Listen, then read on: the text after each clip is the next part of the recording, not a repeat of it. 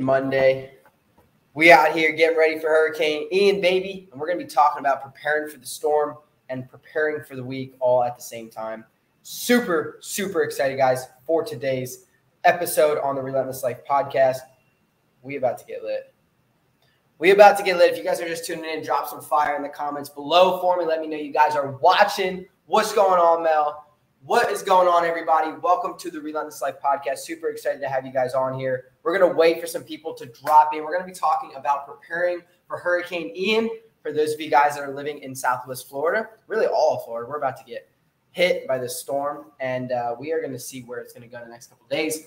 But I'm going to talk about how we can prepare through the storm and prepare to stay successful and to stay on track as we head closer to our goals throughout the week. I just had my first Zoom call with my clients yesterday, and it was phenomenal. We spoke about some wins from this past week. We spoke about some things we were struggling with. And thank you very much, Mel. I appreciate you. Um, definitely will do my best to stay safe. We got some preparation to do tomorrow. But guys, the call yesterday, we were talking about some wins, some struggles, um, and then also our goals for this week and how we're going to stay on track. I got the the the the verbal commitment from my men on our call yesterday that they were going to follow through this week to do the actions needed, even with the storm, to stay on track to accomplish their goals. And for most of them, it was eating their meals, preparing their meals, staying 90 to 100% compliant, hitting all their workouts, you know, hitting any other goals that are maybe outside of our fitness program. And um, it's super inspiring to see the guys commit like that verbally to me as their coach on a live phone call. I thought that that was super freaking cool. So if you guys are just dropping in, drop some fire. What's going on, Azith? Happy freaking Monday, my man. Let's freaking get it today, guys. Um, I need to pin that comment so you guys can see it as you're tuning in. If you guys are, let me know what you guys are doing today to prepare for the storm. You know, I'm a, I consider myself a Floridian. I've been here for 16 years. I'm, uh, I moved down here when I was just after my 10th birthday. I'll be 26 this actually I get a hurricane for my birthday. My birthday is this Thursday, the 29th. So I'll be celebrating my birthday. My sister's birthday is Wednesday when the storm's supposed to hit. My birthday is Thursday. Um, so we'll be having a little hurricane slash, I guess, party, you know, with the family indoors. You know, I, I guess you can't really complain as long as you're with family, you know. I really don't care where I'm at as long as I'm celebrating with with family, with my girlfriend, with the people that I love and truly care about. So that is my birthday this week. But 10 years, 16 years ago, I moved here from Jersey. So I grew up in Florida. And, you know, at, when we first moved here, hurricanes were like this big thing. Like, you know, anyone that doesn't live in Florida or anywhere on the Gulf Coast um, is very scared of hurricanes. And for natives, Floridians, we like we're used to this shit by now, right? Like we we get hurricanes, like you have a hurricane season every year, June to November. Like you're used to it, you know. Oh, we're tracking the tropics, stuff like that. Um, but it is good to be prepared. You know, like you know, even though I'm a Floridian, I'm just you know I've been through multiple hurricanes, been through Irma, been through all of them. Um, it still is dangerous. You know, you still have to be prepared. So I definitely you know encourage you guys if you're like me and just like ah, it's just another storm. Like definitely still do your preparation. I would definitely suggest, um, you know, I know the news is probably going to be telling people put your shutters up. Like I'm definitely going to be putting my shutters up. Half of my house is hurricane proof glass, the impact windows and stuff like that. But the other half that isn't, I'm definitely putting shutters up on. I got some stuff to move around. Got to bring my grill in my garage. So definitely some preparation to do this week. But I'm also going to be preparing for my business, preparing for my my own health goals, and staying on track with that as well. And that is what we're going to be talking about in today's podcast. So if you guys are just tuning in, definitely tag some homies in the comments below so we can get more people in here and we will get this podcast started in the next couple minutes. I'm going to grab some water here. Make sure you guys are drinking plenty of water this week, today, every day, guys. You need to make sure you're drinking at least half of your body weight in ounces of water, of clean, filtered to a certain extent water. You should be drinking tap water. We talked about that before. Should be drinking out of plastic, but yeah, here I am drinking out of plastic. I'm ordering a a gravity filtration system. Pro One is the name of it. I went. I tried going through Berkey. I tried doing Berkey, and I found out that they're not NSF or ANSI certified. Um, companies that don't have that certification, in my opinion, should not be selling or marketing a, a product that is responsible for filtering out things like lead, toxic toxic uh, chemicals, microplastics, um, all of these different things that we shouldn't be consuming in our body. So I just think that they're a fraudulent company personally, but that's just my opinion. So I did my research and I found this Pro One is NSF certified, so I'm going to be going through them. But, but, but, but, we are going to get started. We got some comments here. I'm sorry, guys. I didn't even see that you guys were commenting in here. Um, with primarily, what's up, my man? I'll be safe from hurricane. Be safe, everyone. Been busy to join the lives lately, but glad to join again. Thank you very much. Let's fucking go, bro. Stay prepared. Drink plenty of water. Let's get after it. But we're gonna go live. I don't see any of my clients in here. They're just gonna probably watch the replay. I'm going to keep this one short. Got a bunch of stuff to do today. We're actually moving all of our stuff um, out of our apartment today, my girlfriend and I. And excuse me, my voice is cracking. We're moving all of our stuff out of our apartment today because it is flooding. And if you guys are in the Fort Myers area, I'm actually going to do um, not a shout out, but I'm actually going to call my apartment complex out right here on live because I really don't care. Our apartment has flooded. It's flooded eight to nine times, eight or nine times over the last three or four months. And they have done they they put sandbags out. They've tried to do stuff about it but they still can't um, um, like eliminate the problem. And we've contacted management. We've even tried to contact their uppers and nobody is helping us. They said they were going to bring a moisture meter out here because now we smell mold when we come back. And it's like we're probably breathing in mold and they're not doing anything about it. They're not even bringing a moisture meter out here to show us that there's no mold. Like that's what an apartment complex should do. Like they should come out and make sure that like your health is like okay. Like they've been it's been flooding, and not to mention they've ruined our furniture. We have to do laundry every time it rains, like to soak up the water with towels. Like it's it's a pain in the ass. So the Grove um, at, at Portofino, at Portofino or something like that, the Grove. Do not live here. It's an apartment complex. Do not live here. They're brand new. Their apartments are between 2000 to 2200 a month. So it's not cheap um, and uh, yeah, I just wanted to say do not move to the Grove in Fort Myers if you're looking for a place to stay. Their management is horrendous, they are horrible. Um, I'm the first person to leave someone a good review when they give me good service or give me good products. But when someone does not do that for me, I am also the first person to speak up and be a consumer's advocate and say, do not move here, do not use this service or product. I would definitely not use this this place here. It is terrible. So if you're looking for housing in Fort Myers, do not use this facility, this place. It is terrible. Their management sucks. We've been breathing in mold for holy shit, a couple months. It sucks. Um, so yeah, anyways, guys, we're gonna live in three, two, one. What is going on, squad? Welcome back to another episode on the Relentless Life podcast. It's your boy, Coach Chance. If you guys are just tuning in, thank you guys so much for taking time out of your Monday to listen to me rant and rave on this beautiful Monday. Guys, today we're to be talking about preparing for Hurricane Ian and staying on track towards our fitness and health goals throughout the week. We're preparing for the week, guys. It's Monday, baby. You guys already know what Mondays are about. It's about preparing for success, it's about preparing so that we don't fail. Okay. So today we are going to be talking about some things that you can do. And I'm actually in the middle of making a reel about some healthy snacking options during the storm. We're going to be talking about some things that you guys can do today and tomorrow before Hurricane Ian hits. If you guys are in Florida, if you guys are, you know, on the the, the north, it's mainly Florida that's going to be be getting hit. Um, but the Gulf Coast, I guess you can say, prior to the storm hitting on Wednesday, it's projected to hit Wednesdays, like starting like 10 a.m. in the morning throughout the day, Wednesday and into Thursday. So, some things that you guys can do to prepare for the storm is definitely making sure that you guys are getting those healthy snacks in now, st- stocking up on those snacks now, so that you know if something happens and you're in a pinch, you don't have to succumb to eating, you know, certain uh, canned foods like canned beans or like um, you know canned fruit rather than having fresh stuff. Now, obviously, fresh stuff is only going to last so long, but if you have those healthy snacks, so those healthy options ahead of time, you don't have to succumb to, to eating the unhealthy stuff, to eating stuff that you don't necessarily have an option to. Obviously, if you if you have to eat, you have to eat. Like I get that, right? Like I understand like survival mode. Like, yeah, your goals go out the window. Your goal is to fucking survive, and I get that. But if you prepare ahead of time, then you can still set yourself up for success. Like obviously, if you're counting your macros and you're trying to get a certain amount of, uh, of protein in, like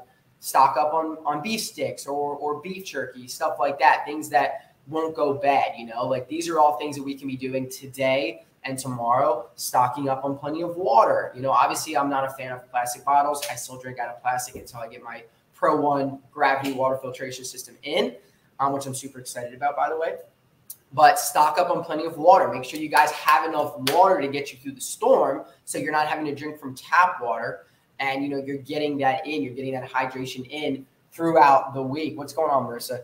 So that is definitely, guys, a few tips. Beef sticks, fruit, um, you know, is is is really my go-to when in regards to like traveling, moving, obviously prep, preparing for a storm because I have all the frozen meat in the world. You know, I buy quarter cow, half cow, so I got ground beef steak, uh, chuck. I got all of it. You know, even I have beef heart. I have a shit ton of beef liver. I probably have seventy dollars worth of beef liver in my fridge or my freezer. Um, but God forbid if, the, if that goes out, like that means it's going to spoil unless we have a generator. So if you don't have a generator, like that sucks, but you still need to have backups. You still need to have things that you have lined up to stay, to not just survive, but to also thrive and stay strong throughout the storm. Because God forbid, guys, if something does happen and you know power lines are down and there's a tree that falls in your house and you have to rescue somebody, you need to have that energy. You need to have that strength. And if you're not getting the right amount of protein in, if you're not getting the right amount of fuel into your body from the right sources, you guys know me, I'm an animal based dude. So, you know, I'm going to say from animal based sources, you're going to have a, a better chance at surviving and helping people and, and getting through the chaos if this storm turns into that with eating the right foods. And, and by eating the right foods, what we need to do is preparing ourselves for the worst, right? Prepare yourself for the worst, hope for the best, right? The famous saying.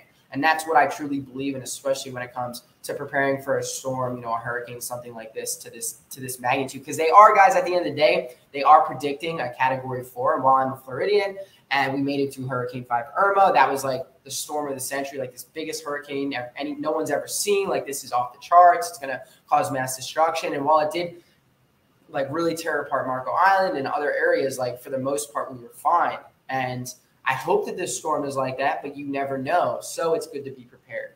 So, honey, guys, honey is also a big one. Honey is a great source of natural sugar, natural carbohydrates that is not going to cause inflammation in your bodies. Whereas, you know, some things like, um, you know, potatoes or, or vegetables, like a lot of people think, oh yeah, I gotta, I gotta stock up on my vegetables, right?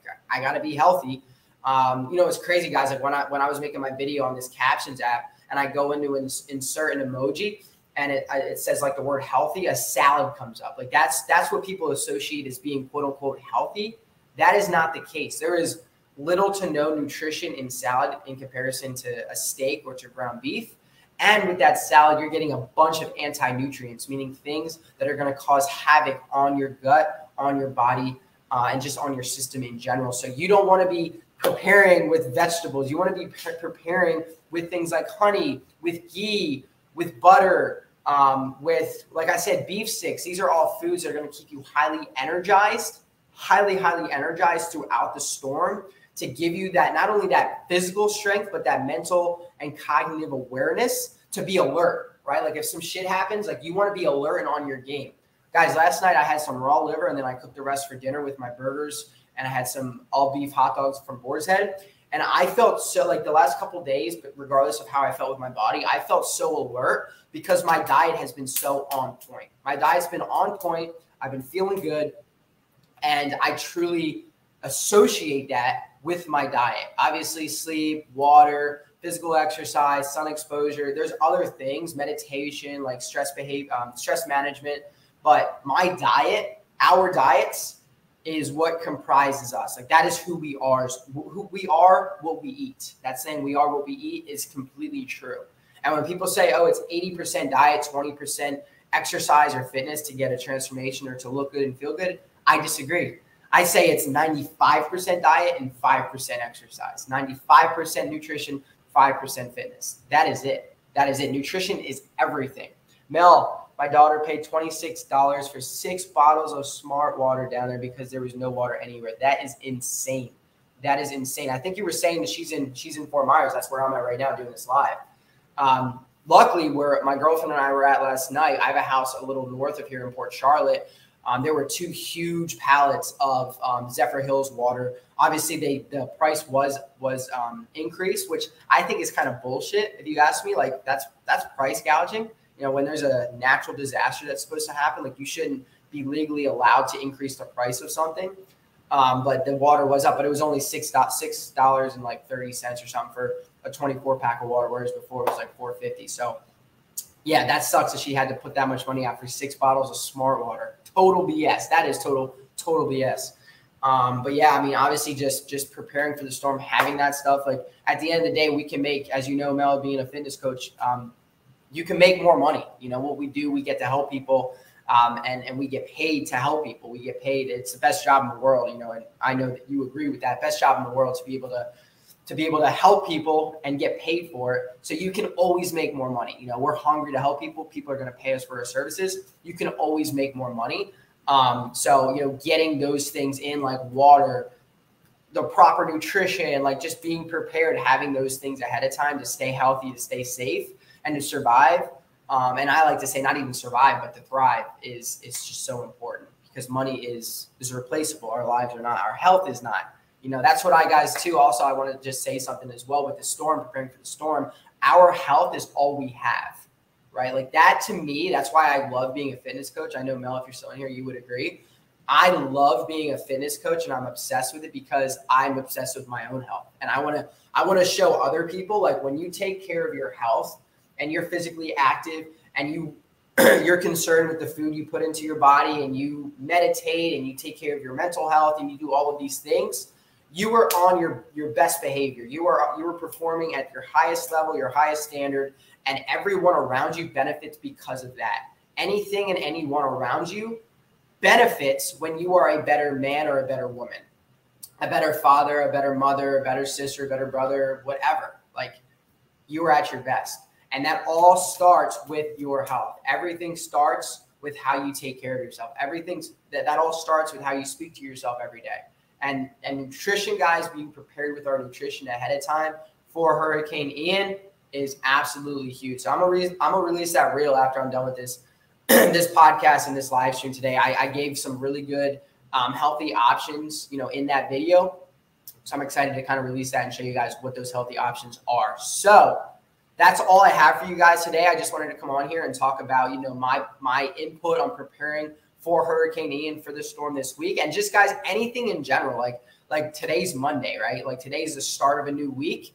And regardless of if we have a storm coming or not, today is the day we set the tempo for the rest of the week. Like my mentor, Mel, you know this, Brian Mark talks about this all the time. Cole, they talk about this all the time.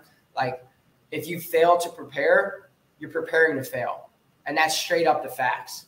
Like you need to prepare yourself to be successful starting with Monday. It's the same thing in the morning. Like when you start a day, you have to win the morning first. If you don't win your morning first and you don't start out with an A plus with accomplishing some shit in the morning, getting up on your first alarm, taking a cold shower, like doing these things that put you in a high energy mood, your your the rest of your day is going to suffer because of that. You need to fuel your mind, fuel your body with water, with a, a high protein breakfast, like these right things that are needed to get you into that state. Have an awesome day, Mel. Thank you for tuning in. I will definitely stay safe this week for sure, for sure. But as I was saying, guys, that is what it's about.